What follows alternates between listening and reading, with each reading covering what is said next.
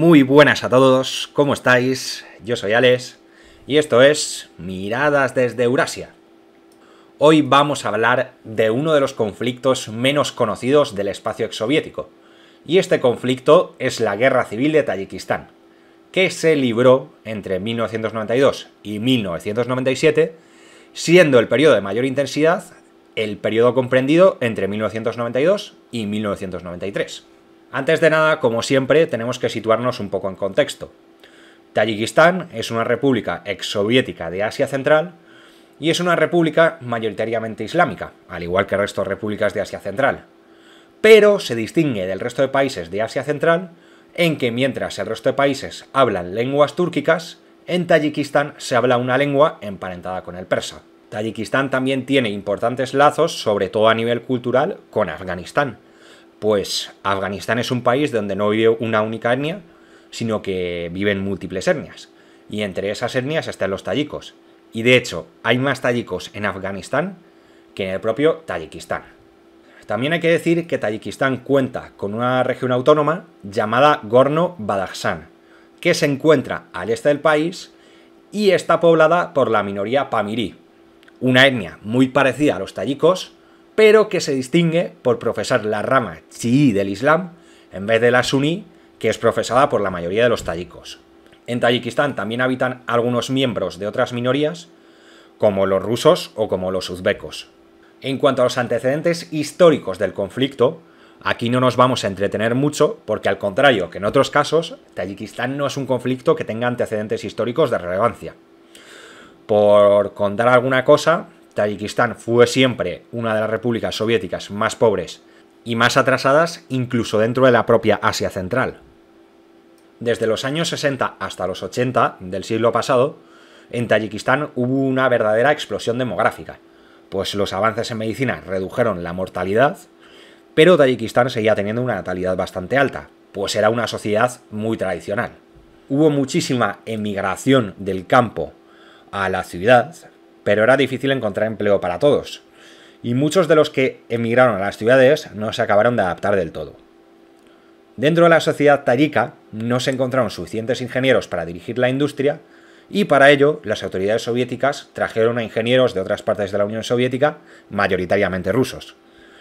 Asimismo, hay que decir que Tayikistán empezó a cobrar una importancia mayor para la URSS en los años 80, cuando la Unión Soviética estaba librando la guerra de Afganistán. La sociedad tayika, incluso a finales del siglo XX, seguía siendo una sociedad de clanes. Y aquí se encuentra quizás la raíz de todos los problemas que acabarán surgiendo en Tayikistán, pues durante la época soviética el poder estuvo controlado por dos clanes, el de Kulyov y el de Leninabad, mientras el resto de clanes estaban relativamente marginados del poder. En definitiva, Tayikistán era una bomba de relojería que iba a estallar tarde o temprano el gran preludio de la guerra que acabará estallando en 1992 serán los disturbios de Dushanbe de 1990. Y estos disturbios están muy relacionados con otro conflicto del que ya hemos hablado, que es el conflicto de Nagorno-Karabaj entre armenios y azeríes. En febrero de 1990, 39 armenios que huyeron de los pogromos de Bakú fueron realojados temporalmente en Dushanbe por las autoridades soviéticas. Entonces se extendieron rumores acerca de que los armenios que iban a ser realojados ascendían a 3.000 y que iban a tener preferencia a la hora de acceder a una vivienda frente a los tayikos. Lógicamente esto era un bulo, pero los rumores se extendieron y esto desató una ola de indignación. Los civiles descontentos se concentraron enfrente de la sede del Partido Comunista en Dusanbe y empezaron a gritar consignas tipo abajo los armenios el líder del Partido Comunista de Tayikistán, Kahar Makhamov, prometió que iba a salir a dar explicaciones, pero no apareció. Y entonces los gritos pasaron de abajo los armenios a abajo Makhamov. Los manifestantes tayikos entonces intentaron asaltar la sede del Partido Comunista y se produjeron disturbios en toda la ciudad, produciéndose saqueos de comercios y enfrentamientos con las fuerzas del orden. Los manifestantes también atacarán a minorías étnicas como rusos o como los propios armenios, e incluso atacarán a mujeres tayicas que vestían al estilo europeo. Ante estos disturbios, las autoridades de Tayikistán decretarán el estado de excepción y se desplegará un contingente mixto de fuerzas del ejército y del interior que pondrá fin a los disturbios. Los disturbios se saldarán con 20 muertos y más de 600 heridos. En relación con estos disturbios, Makhkamov presentará su dimisión, pero esta no será aceptada por el partido. A finales de agosto de 1991 se produce el golpe de Estado contra Gorbachev por parte de la línea dura del Partido Comunista, y el gobierno de Tayikistán, encabezado por Makhkamov, apoya el golpe.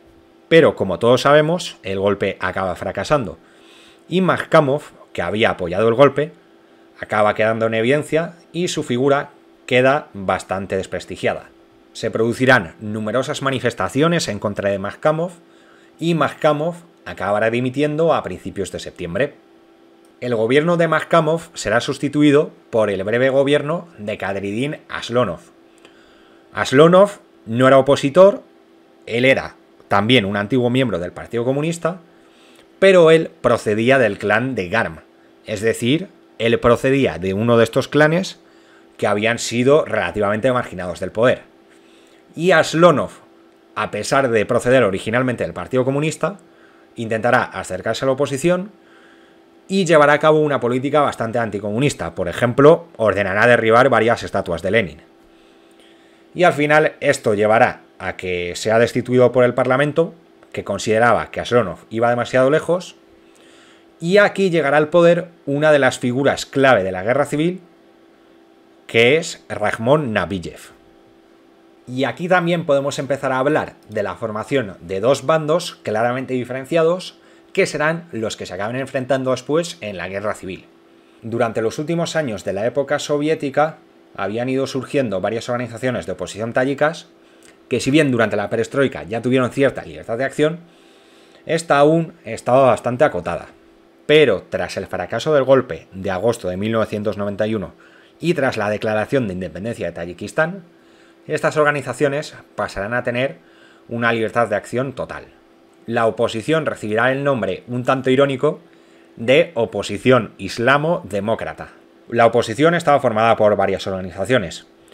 Por un lado estaban el Partido Democrático de Tayikistán y Rastojez, que eran dos organizaciones que representaban pues, a la típica disidencia liberal antisoviética, y luego estaba el Partido del Renacimiento Islámico, que era un partido islamista dirigido por Said Abdullah Nuri. Cuando digo que este partido era un partido islamista, me refiero a que este partido abogaba por la implantación de la ley islámica y por hacer que la ley islámica fuese la base del Estado.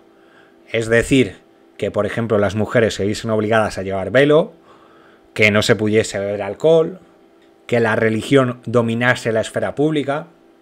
Eso es a lo que me refiero cuando digo que este partido era islamista. En Tayikistán la situación será muy similar a la que habrá posteriormente en Siria en la guerra civil siria. Inicialmente la oposición estaba formada tanto por islamistas como por gente que a lo mejor simplemente quería más democracia.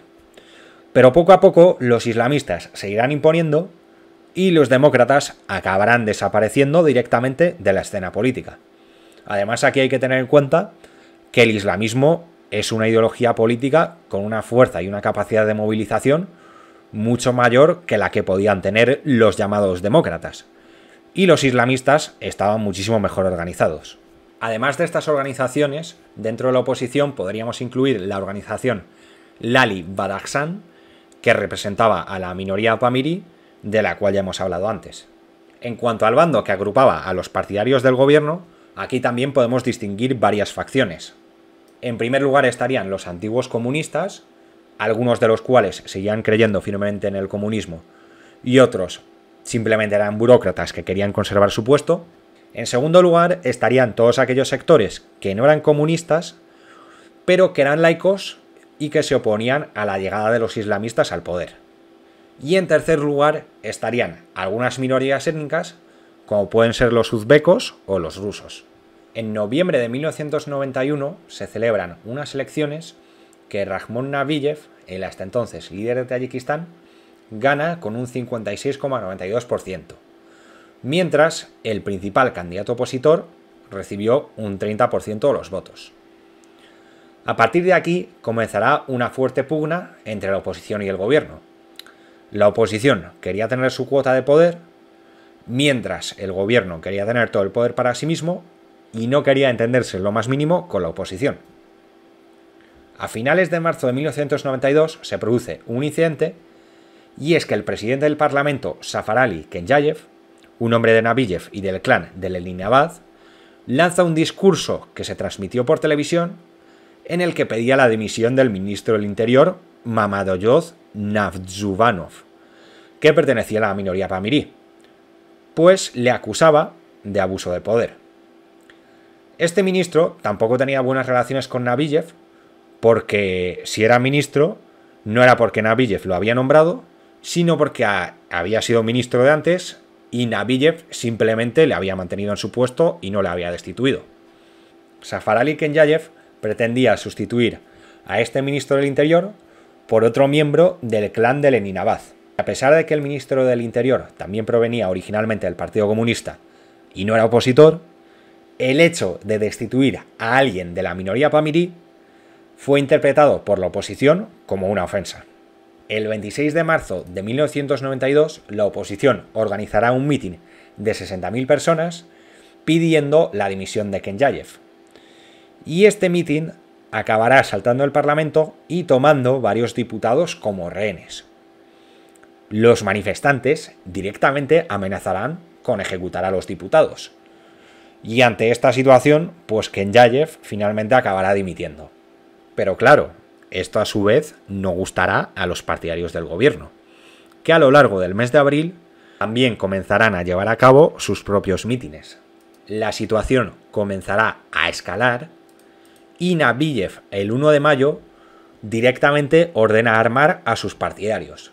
El 5 de mayo estallará la chispa que dará lugar al conflicto. Los partidarios de la oposición conseguirán hacerse con una parte de los puntos estratégicos de Dusanbe, como por ejemplo la estación de televisión.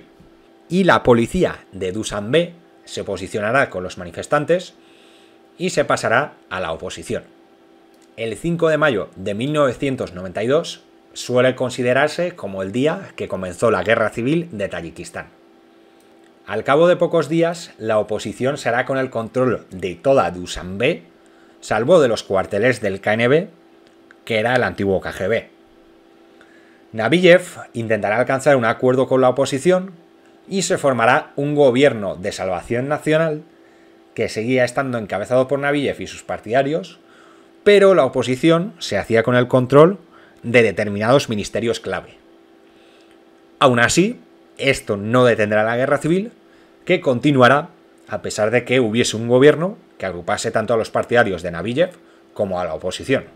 De hecho, esto es bastante curioso porque al contrario que en prácticamente todas las guerras civiles, en la guerra de Tayikistán no va a haber dos gobiernos separados que gobiernen sobre los territorios que controlen militarmente, sino que va a haber un único gobierno de concentración nacional que tenga miembros de ambos bandos, mientras los dos bandos se van a enfrentar militarmente en el campo de batalla.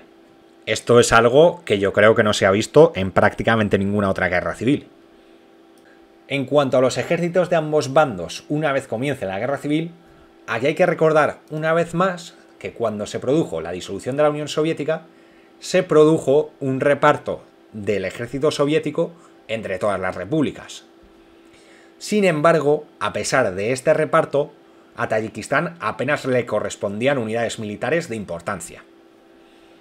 Ambos bandos van a formar sus ejércitos a partir de las distintas bandas paramilitares que ya se habían ido formando hasta entonces. Por parte de aquellos favorables al gobierno, se creará el llamado Frente Popular, una organización político-militar que agrupaba a todas estas bandas militares y a todos los partidarios del gobierno. Quizás a algunos el nombre de Frente Popular os suene raro porque en otros vídeos hemos hablado de que los frentes populares en el contexto de la perestroika, por ejemplo en Moldavia, fueron organizaciones anticomunistas que se oponían al poder central soviético. Pero en este caso, a pesar de su nombre, esta organización representaba más bien lo contrario. El Frente Popular estaba dirigido por un hombre llamado Sangak Safarov, un antiguo líder criminal, pero que demostró ser un organizador muy hábil. Asimismo, en Tayikistán también se encontraba la 201 División Soviética, que según los repartos de los ejércitos pasaba a ser la 201 División Rusa. Esta división, incluso antes de que se oficialice el apoyo ruso a Tayikistán, se desplegará en los distintos puntos estratégicos para asegurar el control de estos por parte del gobierno. Sin embargo, al menos al principio, la capacidad de esta división se va a ver fuertemente limitada, porque al final esta división era una división solo en el nombre. Muchos de los regimientos de esta división ni siquiera llegaban a batallones. Aunque es verdad que más adelante esta división se reforzará, reclutando miembros entre los veteranos tayikos del ejército soviético a cambio de otorgarles la nacionalidad rusa. También la Guardia Fronteriza, que se repartirá entre Rusia y Tayikistán, jugará un papel muy importante vigilando la frontera con Afganistán, pues los islamistas tayikos recibían un apoyo muy importante por parte de los islamistas afganos. Uno de los apoyos más importantes al gobierno de Tayikistán vino por parte de Uzbekistán. En Uzbekistán se dieron cuenta del peligro que suponía la expansión del islamismo y es por ello por lo que decidieron volcarse plenamente en la guerra apoyando al gobierno tayiko. La 15 Brigada de Spetsnaz GRU, tras los repartos del ejército soviético, pasó a pertenecer a Uzbekistán y esta unidad será la que participe en Tayikistán, llevando a cabo operaciones militares de gran complejidad y formando a las milicias del Frente Popular junto con la 201 División Rusa. La 15 Brigada de Spetsnaz GRU estaba al mando de un coronel ruso étnico llamado Vladimir Kvachkov. Kvachkov era un militar con un gran talento pero también era un personaje que además de ser conocido por su papel en Tayikistán, será conocido posteriormente por su participación en política después en Rusia. Kvachkov defenderá una combinación de ideas próximas al comunismo con ideas nacionalistas y cristianas, y tendrá distintos problemas con las autoridades. Entre estos problemas podemos destacar el intento de asesinato de Anatoly Chubais, que fue el máximo responsable de las privatizaciones en Rusia durante los años 90. Que al final es cierto que estas privatizaciones acabaron suponiendo un auténtico saqueo a la población y acabaron concentrando la riqueza en manos de unas pocas personas. Y hoy en día Kovachkov es un hombre bastante cercano a Strelkov, uno de los principales organizadores de la rebelión del Donbass en 2014, del cual ya hemos hecho un vídeo. Kazajistán y Kirguistán también mandarán algunos contingentes militares a Tayikistán, pero el apoyo a Tayikistán vendrá fundamentalmente dado por Rusia y por Uzbekistán. Por parte de la oposición islamista, aquí hay que destacar sobre todo el apoyo por parte de los islamistas afganos. Tayikistán tenía frontera con Afganistán, que recordemos que en 1992 había caído en poder de los islamistas.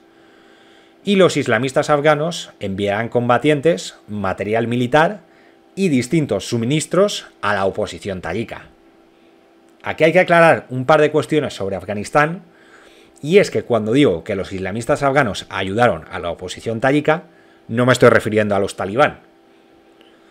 Por hacer un resumen muy breve de lo que fue Afganistán durante los años 90, aquí hay que recordar que en 1992 cae el gobierno socialista de Kabul y se hacen con el poder una coalición de grupos islamistas islamistas al fin y al cabo, pero no tan radicales como los talibán. Los talibán, como grupo, de hecho surgen varios años después de que acabase la intervención soviética, en 1994, y se hacen con el poder, derrocando al gobierno islamista, supuestamente moderado, en 1996. ¿Y por qué insisto tanto en esto? Porque, aunque es cierto que va a haber cierto apoyo talibán, pero muy pequeño y al final de la guerra, los que apoyarán a los islamistas tayikos serán precisamente aquellos islamistas supuestamente moderados que después de la toma del poder por parte de los talibán, muchos venderán como una especie de héroes de la resistencia contra los talibán.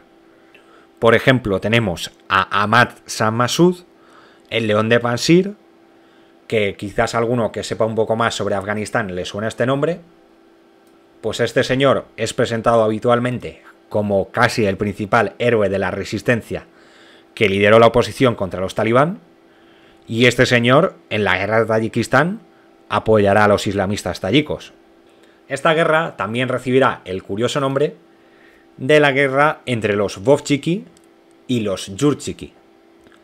El nombre Vovchiki es un acrónimo en ruso de Wahhabita y hacía referencia a la oposición islamista, pues recordemos que la rama wahhabí del Islam es la rama más radical, que es la que practican habitualmente los islamistas. Mientras Yurchiki es una referencia a Yuri Andropov, que recordemos que Yuri Andropov fue el que sustituyó a Brezhnev como secretario general del PQS y que fue durante mucho tiempo director de la KGB, y el nombre de Yurchiki se usaba para referirse a las fuerzas partidarias del gobierno por la importante presencia de miembros de la antigua KGB dentro de sus filas.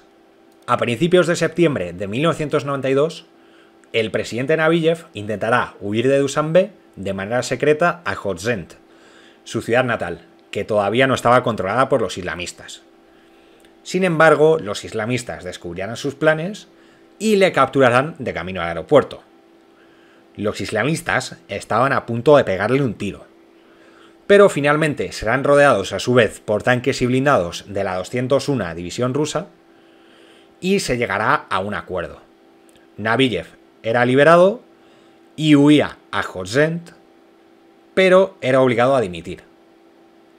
Y el puesto de presidente en funciones lo ocupará temporalmente a Vasco Iskandarov. En un principio, una vez estalló la guerra, se podría decir que iba ganando la oposición, pues se habían hecho con el control nada más ni menos que de la capital y controlaban una porción muy importante del terreno de Tayikistán.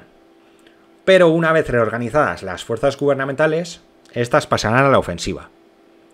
La primera gran ofensiva de las fuerzas del Frente Popular será la provincia de Kurgantepa. Esta provincia así como su capital, se encontraba bajo el control de los islamistas. Los islamistas cometieron matanzas bastante brutales. Tras la dimisión de Navillev, se celebrará un mitin a favor del depuesto presidente en la propia ciudad de Kurgantepa, y este mitin será rodeado por los islamistas, que comenzarán a dispararles de manera completamente indiscriminada. Posteriormente, los islamistas irán a los barrios uzbecos de la ciudad y también comenzarán a masacrar a la población uzbeca simplemente por el hecho de serlo.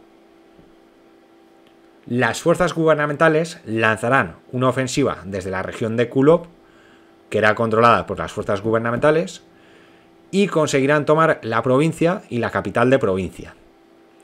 Para finales de 1992, las fuerzas del Frente Popular se habían hecho con toda la región de Kurgantepa.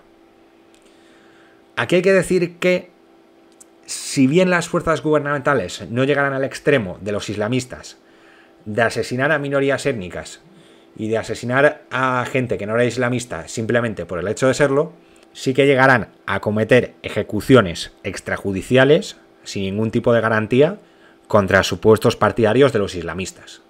Por lo general, la guerra civil tayika, si se distinguía por algo, era desgraciadamente por su crueldad. En diciembre de 1992, las fuerzas del Frente Popular lanzarán una ofensiva para tomar Dushanbe, la capital de Tayikistán.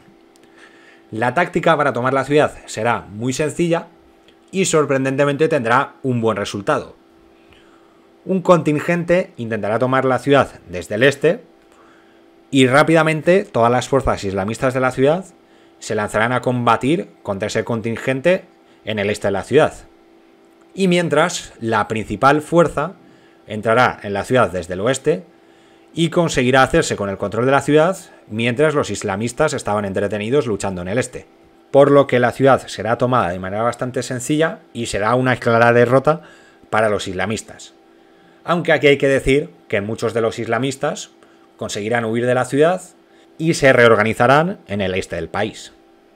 Y es en este contexto cuando en Tayikistán llega al poder Emomali Ramón, que es una figura política que es importante en Tayikistán incluso a día de hoy, porque es que Momali Ramón llegó a la presidencia en los años 90 y continúa siendo presidente de Tayikistán incluso a día de hoy. A finales de 1992, el Parlamento de Tayikistán se reúne en una sesión extraordinaria y nombra como presidente a Emomali Ramón. En realidad, Emomali Ramón llegó al poder gracias a Sangak Safarov, el líder del Frente Popular, que aspiraba a gobernar en la sombra y a que Emomali Ramón fuese su marioneta. Aquí hay que recordar que Sangak Safarov no dejaba de ser un antiguo líder criminal. Entonces, lógicamente, él no podía llegar a ser la cara visible de Tayikistán. Entonces, Sangak Safarov intentará esta jugada. Pero en marzo de 1993, Sangak Safarov morirá en extrañas circunstancias. Algunos, de hecho, dicen que el responsable del asesinato de Safarov era el propio Emomali Ramón, aunque esto tampoco está demostrado. Y tras la muerte de Safarov, Emomali Ramón se hará con el poder absoluto y llegará a gobernar Tayikistán incluso en nuestros días. En 1993, una vez tomada la capital y toda la parte occidental de Tayikistán, las fuerzas progubernamentales lanzarán una ofensiva sobre Garem, en la parte central del país. Aquí los combates serán muy difíciles, pues se trataba de una región muy montañosa. Una operación conjunta de la aviación uzbeka, la artillería rusa y la infantería tayika conseguirá tomar el control del desfiladero de Romit en febrero de 1993. A finales de febrero de 1993, las fuerzas del Frente Popular llegaron al valle de Karategin y llevaron a cabo una operación de desembarco en helicópteros. Inicialmente, las operaciones de despliegue en helicópteros en las montañas fracasarán porque estas operaciones serán en pequeños grupos y estos grupos serán rodeados y destruidos por los islamistas. Pero Koachkov planificará una operación muy ambiciosa a gran escala que consistía en desembarcar nada más ni menos que 2.000 personas en las montañas. Desde ahí, estos militares debían emprender un camino para bajar al valle y en su paso eliminar a todos los islamistas que se encontrasen. En esta operación, el éxito de las distintas unidades variará en función de la presencia de miembros del Spetsnaz Group.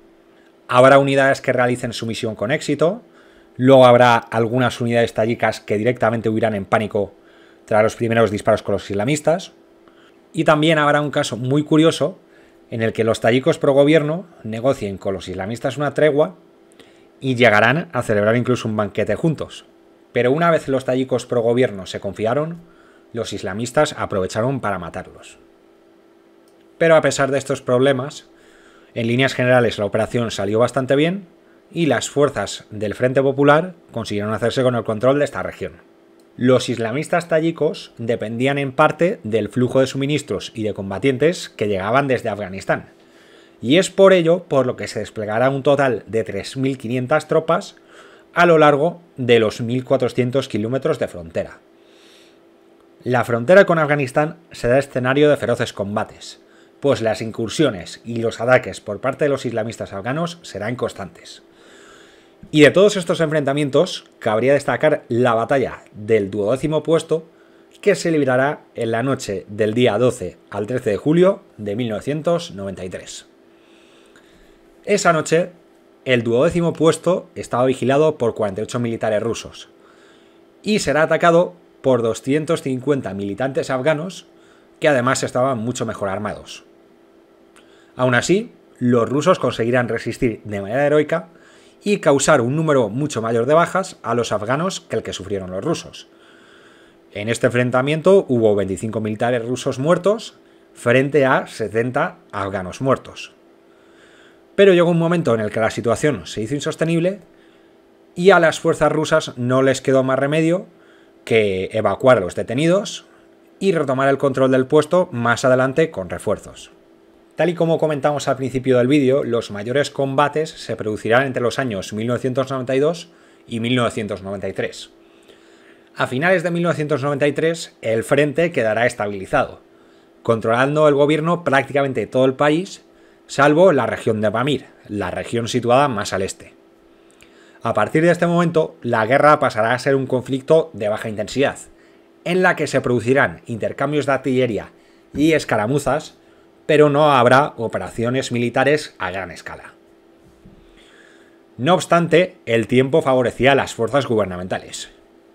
La presencia rusa, uzbeka y de otros países quedó oficializada, y el apoyo de estos países a Tayikistán quedó asegurado, por lo que el gobierno contaba con aliados muy poderosos. El estricto control de la frontera con Afganistán hacía que la oposición islamista tuviese problemas para recibir suministros de cualquier tipo. Y por último, hay que decir que en los primeros años de guerra, Tayikistán se sumó en una situación de caos. Había problemas de abastecimiento de agua y electricidad, la industria dejó de funcionar. Claro, aquí hay que tener en cuenta que muchos técnicos eran de origen ruso y huyeron del país, o mejor dicho, les echaron del país. Había una crisis humanitaria brutal, pero una vez el frente se estabilizó, también se estabilizó la situación política y la situación social. Y eso no pasaba en las zonas controladas por la oposición. Por lo que incluso dentro de la oposición el apoyo a un entendimiento fue creciendo. En junio de 1997, tras varias rondas de negociaciones, se firma un acuerdo de paz definitivo entre el gobierno y la oposición.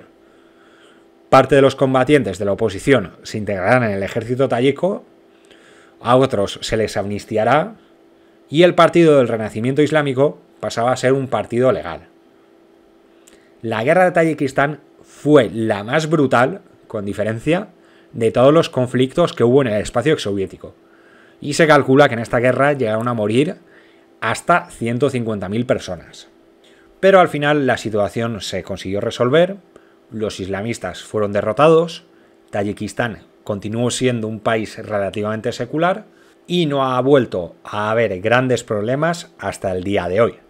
Y hasta aquí el vídeo de hoy. Espero que os haya gustado. Si os ha gustado no os olvidéis de darle a me gusta y a suscribiros, que no cuesta nada. Y nos vemos en el próximo vídeo. Muchas gracias y un saludo a todos.